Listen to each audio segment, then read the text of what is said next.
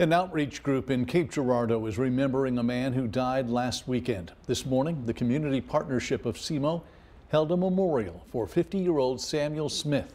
Workers say Smith was a bus driver in Ohio before he became homeless, but always kept a positive attitude.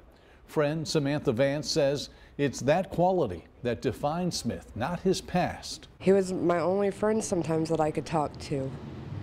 He come to me, I don't have nobody here. He shows us that no matter what, there's a reason to smile, keep living, keep life going.